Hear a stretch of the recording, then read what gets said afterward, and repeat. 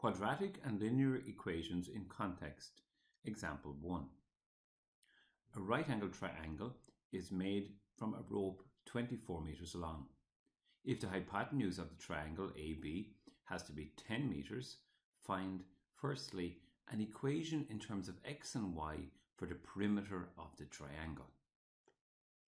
Now the perimeter of a triangle is what we get if we add up the sides we see from the diagram our sides are 10 meters, x and y.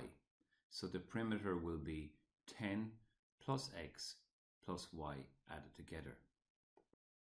And this must equal 24 meters.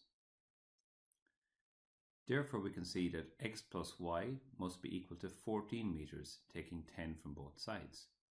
So this is our first equation. In part two, we're asked for an equation in terms of x and y for the hypotenuse of a triangle. Pythagoras' theorem tells us that x squared plus y squared will be equal to 10 squared. The hypotenuse squared is the sum of the other two sides squared added together.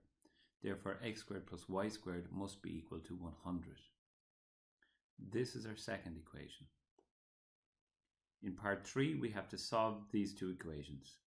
Solving a linear and a quadratic involves rewriting the linear in terms of one variable and subbing this value into the quadratic equation. So we have y is equal to 14 minus x. Therefore, the quadratic equation becomes x squared plus 14 minus x to be squared is equal to 100. Now we expand this expression. 14 squared is 169. Multiply 14 by negative x and double it is negative 28x and negative x to b squared is positive x squared. We see now we have 2 of the x squareds and negative 28x.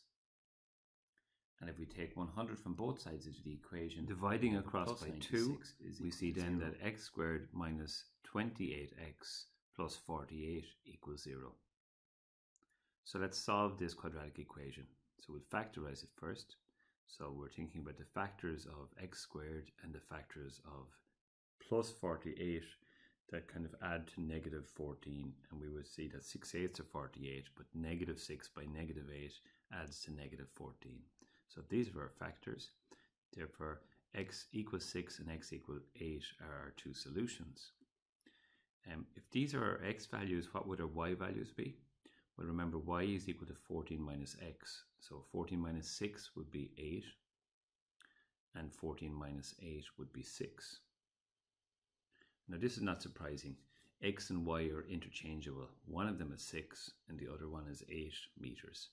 We could, we don't know which is which, we might just finish by saying the sides of this triangle are 8 meters and 6 meters.